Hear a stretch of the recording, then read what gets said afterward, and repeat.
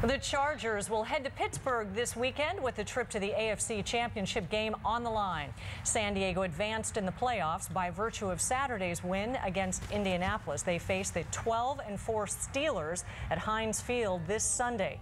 Steelers quarterback Ben Roethlisberger is expected to play after suffering a concussion in Pittsburgh's final regular season game. The Chargers captured the all-important wild card win, but this weekend's matchup against Pittsburgh will be no easy task. Joining us now with what the team has to do to beat the Steelers is the host of the Scott and BR show on Double X 1090 Sports Radio, Billy Ray Smith. Thanks, Bill, for coming in. It's great to be here. So what do we have to do in a nutshell to uh, get by this weekend's game coming up? Uh, I think basically when you compare it to the to the last effort against the Steelers, they went back to Heinz Field and they lost the game by a single point, 11 to 10. You make a field goal. Nate Kaeding missed a field goal in the third quarter you win that football game. They kept the Steelers out of the end zone and played a great game against the Pittsburgh Steelers.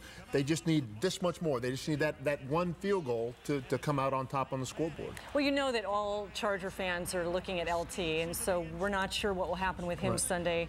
He got taken out last week as well.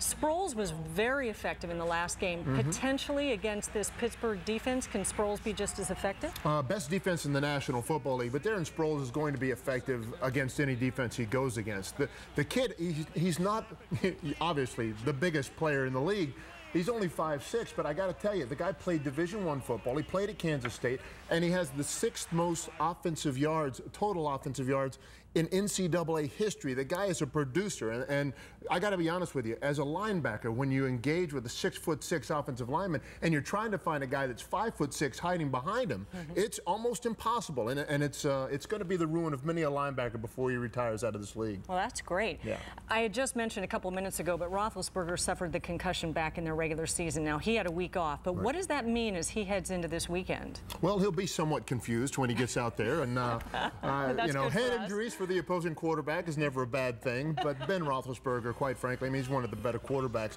But I, I will tell you that Philip Rivers has had a much better year than Ben Roethlisberger. Statistically speaking, Philip Rivers uh, in the top one or two in almost every category uh, as far as throwing the football, and he's been a great leader for this Charger offense. Uh, I think you, you, you want to go to head-to-head. I'll, I'll take uh, Philip Rivers over Ben Roethlisberger anytime.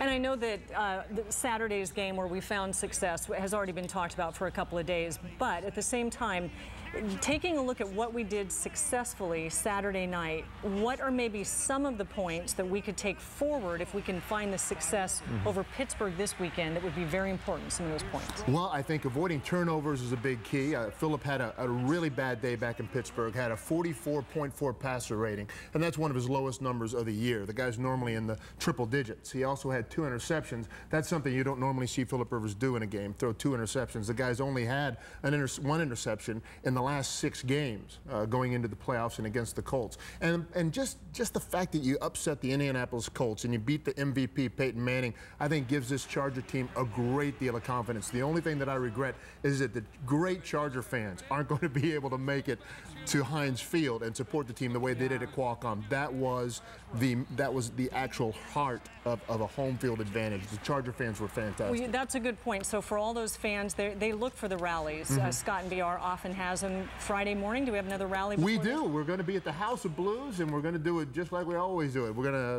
pretty much Great. open the doors at 5:45 in the morning, and and just uh, you know throw a party and and back our team. That'll give us a place to go. Beautiful. Ray Smith, thank you for I'll see you there, Carol. You better make you better make She'll it. She'll be with me. Done. Excellent.